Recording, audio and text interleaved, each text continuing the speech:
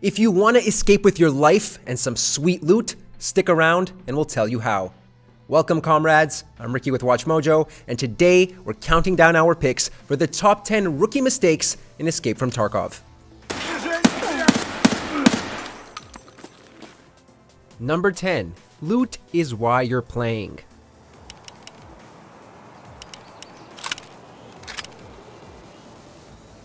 Okay, yes, survive also, obviously.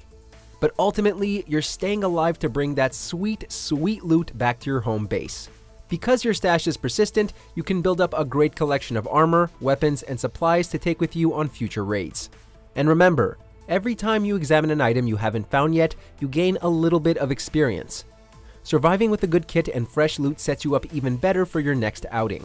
And don't forget your alpha container, the storage box that's in your pouch.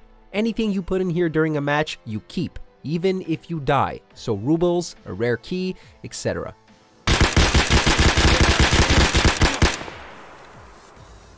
Number 9. Play as and with scavs.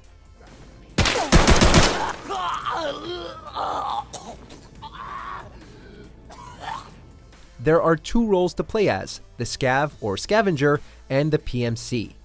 The PMC is your main character, and the scav is a randomized playable enemy faction. Both roles involve looting and escaping, but scavs start with random loot, which could be great or could be weak.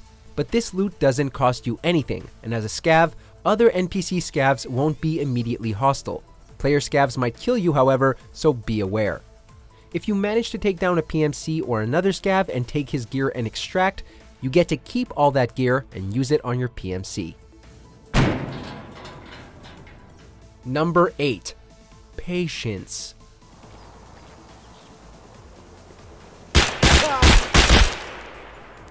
Unlike a battle royale like PUBG or that other one, there is far less urgency to escape from Tarkov. Your objective is different and you aren't constantly running away from a collapsing circle. Your goal is to get to extraction with the best gear you can find along the way. You still need to get to the extraction zone in time, but there isn't an ever-present wall of death following you. So take your time, let other squads get to the extraction zone first, and fight it out, because the last thing you want is to get trapped between squads. Found an exit, time for extract. Number 7. Don't immediately open fire.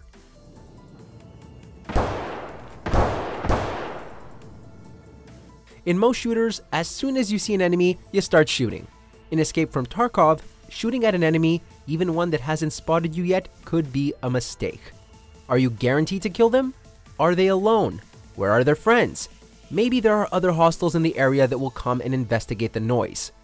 We're not saying that you should become a bush camper, but only take fights you can win. Hell, when you're new to the game, it's okay to just pick off and loot NPC scavs and escape, avoiding other players entirely.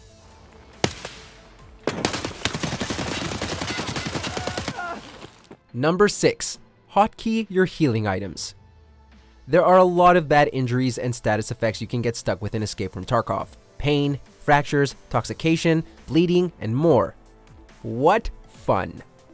Which means there are a lot of different types of medical supplies as well, and it's not as simple as using health packs to stay alive. You'll need everything from basic cheese slices to big old grizzly first aid kits to make it to the extraction, so adding the various healing items to your hotkeys makes using them much more efficient you'd be surprised how much just a second or two of time saved can make a difference. Number 5. Don't be afraid to push enemies. Remember what I said earlier about not being a bush camper?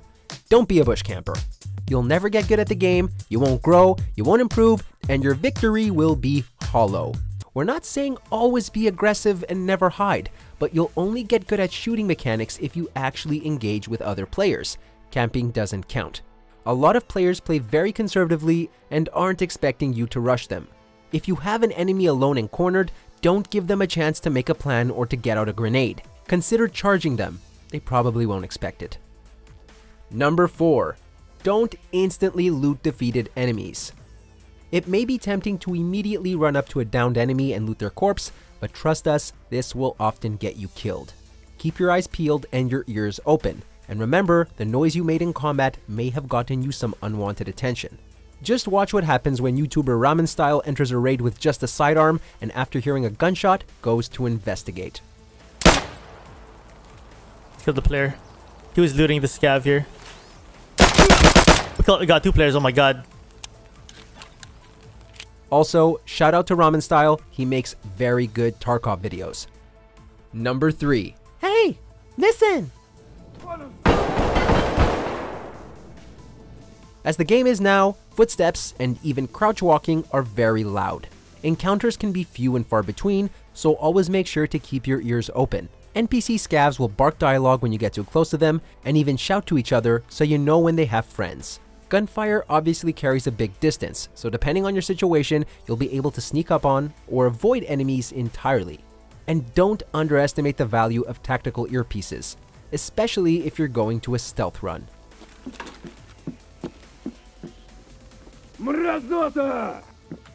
You better worry about bears. Number 2. Keep a map handy.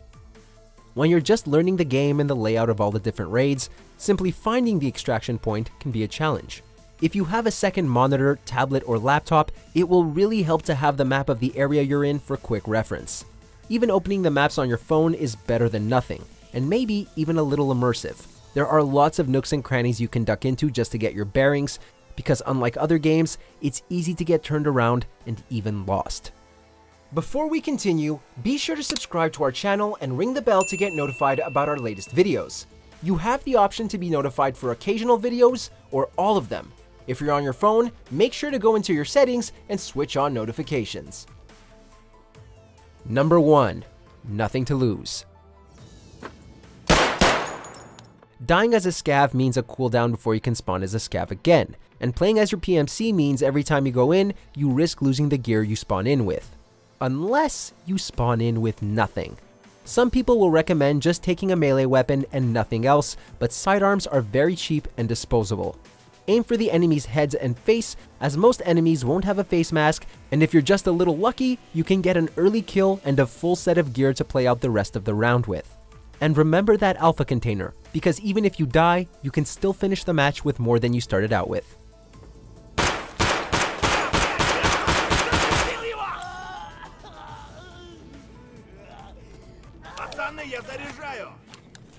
You made it to the end, which means you've improved your game by at least 20%. You're welcome. Alright guys, as always, thank you so much for checking out the video. Please be sure to like and subscribe to Watch Mojo, and I'll see you next time.